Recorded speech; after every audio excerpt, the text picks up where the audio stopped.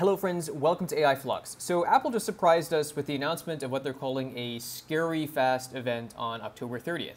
We don't really know what it's going to be about, but since someone might have leaked a picture of a new MacBook Pro box, we're pretty sure it's going to be a new MacBook Pro. But the real question is, why is it scary fast? Does this mean that they're going to release a new M3 Apple Silicon, maybe just one version of it, be it the M3, the M3 Pro or the M3 Max? Are they maybe releasing a new uh, AI coprocessor that's been rumored from Apple as well? Let's get into it. So earlier this week, Apple announced this scary fast event. So the question is, what are they talking about? Um, it, will it be scary fast? So Mac Rumors has a pretty interesting write-up here. So it's been a while since we've seen an update for the MacBook Pro. Uh, it's actually been almost three years since the iMac has been updated. And the new M2 Pro and the Mac Pro has been great, but it's been just about uh, six to eight months since that's come out, and we know that they probably would have liked to have had M3 in place then. And we know that at this point from TSMC, that 3 nanometer is well on its way, and if they're already announcing new MacBooks, it's likely that um, that 3 nanometer TSMC process is good to go. We also know that a lot of the most popular and most importantly most powerful specs of the M2 uh, be it with MacBooks or the Mac Pro, um, are actually running thin in Apple stores. If you go and try to buy one nowadays, a lot of them will say we just don't have them, or it could be months before we could even ship it to you, which is kind of interesting. And most of this news comes from uh, Ming-Chi Kuo, and he's done a lot of uh, research and has called a lot of Apple releases in the past. Um, what's interesting is they'd likely, you know, wouldn't announce something that they would ship immediately but they would likely be at least able to ship uh, limited quantities of their new models by Q4. And there have also been rumors that Apple's been testing the M3 internally already, both on MacBook Pro and the Mac Pro. But however, um, previously we thought that it would be probably up until early 2024 that Apple would announce refreshes for the 14 and 16 inch MacBook Pros. And this is all very interesting, uh, but we know a fair bit about the M3, uh, the specs have not likely changed very much. Uh, most of the updates have been whether or not Apple can actually produce it or not. And what I really want to talk about is what the M3 will potentially enable in terms of AI. Because obviously M2 is an incredible processor for AI and actually early on was one of the first non-NVIDIA GPU just processing units that could run Falcon 40B and Falcon 70B uh, nearly natively. Of course you can run it on other CPUs but uh, the Apple Silicon was able to do this much faster, predominantly because of how it accesses memory, which is pretty complex, but you should go watch a video on that if you want to learn more about that. So what we know right now is that the M3 will still be lined up pretty similarly to the M2. So there'll be an M3 Pro, an M3 Max, and an M3 Ultra. Then they're likely going to see the standard M3 first. So I don't think we'll see an M3 Ultra on October 30th but I would bet we'll see at least the M3 Pro and the M3 Max. We also know that similar to the M2 chip, the M3 will likely have an 8-core CPU and a 10-core GPU. We don't really know what the improvements could look like uh, when we see the Ultra variant. Um, we could see something um, probably between a 32-core CPU and up to an 80-core GPU.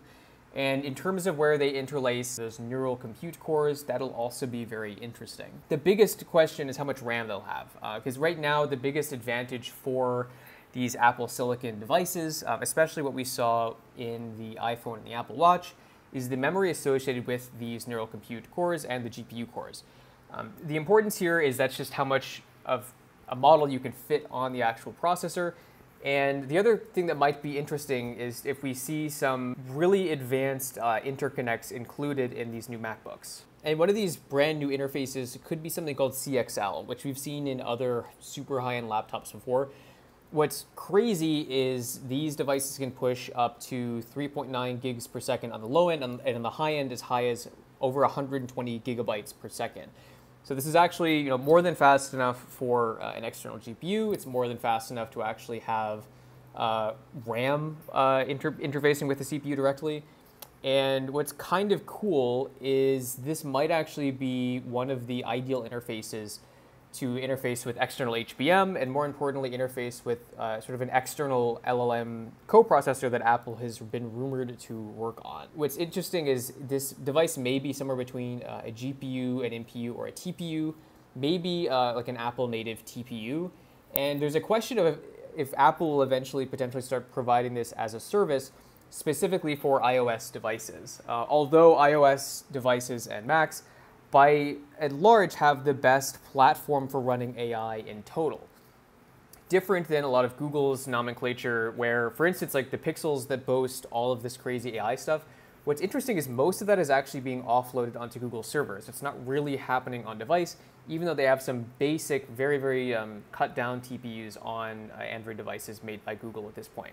And I think this is a great segue into what Apple has also been working on, uh, unfortunately, kind of playing catch up, which basically is Apple's plans to come full circle with generative AI on all its devices. So obviously, Apple at this point is behind in terms of what uh, Google has been doing with Bard and some of their projects, and with more importantly, what Microsoft has been doing with OpenAI.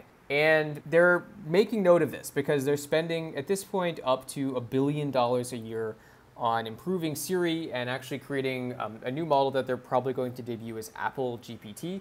They were pretty early with Siri, and when I was in college, I actually worked with a number of researchers from MIT CSAIL who then went on to work at Siri. So to say that smart people weren't working at Apple is inaccurate, but they just didn't hit it first. And now that we know um, GPTs and transformers are kind of the new lay of the land. Apple is trying to play catch up as fast as possible.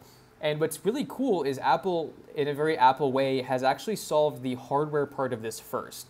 They've already, seemingly by accident, but knowing Apple, it's not an accident, have created a uh, completely homogeneous set of devices going from Apple Watches to um, iPhones to Macs to uh, basically desktops and servers that are highly capable of running AI all on a single platform. So this is GGML and then a few other um, platforms that Apple has internally.